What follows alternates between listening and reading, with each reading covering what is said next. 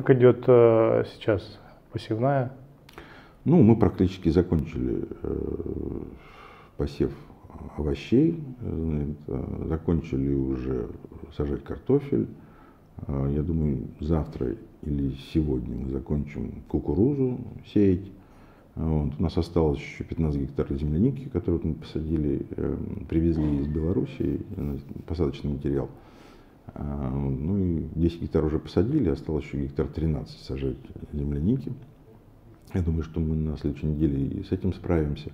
Там были просто перебои с водой, к сожалению при строительстве Володарского шоссе передавили нашу трубу, и, соответственно, э, скажем так, вода для полива, ну, система была нарушена. Сейчас, слава богу, восстановили. Я думаю, что если погода позволит, мы закончим посадки.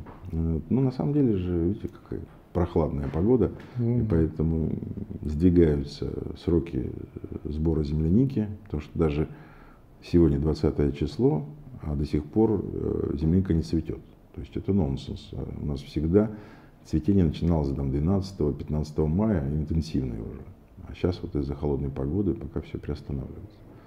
Техника не подводит? Ну, к сожалению, из-за отсутствия запчастей приходится просто дольше ее ремонтировать, э, выкручиваться. Надо дать должное нашему мехцеху и инженерам, которые справляются пока с этими трудностями. Э, потому что, конечно, все стало гораздо сложнее. Но мы с оптимизмом смотрим в будущее, потому что э, у нас, у сельского хозяйства всегда какие-то трудности, и мы всегда их преодолеваем. И погодные, и э, административные. Вот, поэтому надо сказать, что коллектив работает успешно. Вот, все программы по посадке и посеву мы выполнили.